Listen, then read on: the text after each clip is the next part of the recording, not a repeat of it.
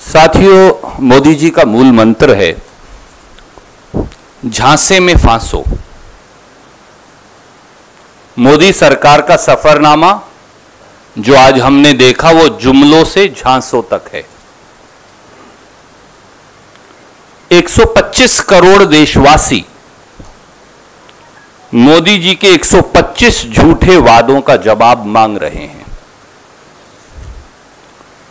और आज जहाँ उसकी प्रतिलिपि हम आपको देंगे 125 वादे और उनकी झूठ की उसका अनावरण भी हम इस पत्र वार, पत्रकार वार्ता के आखिर में श्री अहमद पटेल जी से करवाएँगे। जैसा मैंने कहा मोदी जी का मूल मंत्र है झांसों में फांसो। जब साल 2014 के घोषणा पत्र के 125 सवाल खड़े हों। तो आज के झांसा पत्र, ये संकल्प पत्र नहीं है। आज के झांसा पत्र पर भरोसा कैसे करें? फिर एक बार उन्होंने किया झांसा पत्र तैयार। फिर एक बार उन्होंने किया झांसा पत्र तैयार। देश की जनता खारिज करेगी इस बार और झोला उठाकर हो जाओ जाने को तैयार। मोदी सरकार ने देश के विश्वास में विष घोल दिया है। देश को आज सरकार पर भरोसा करना भारी पड़ रहा है।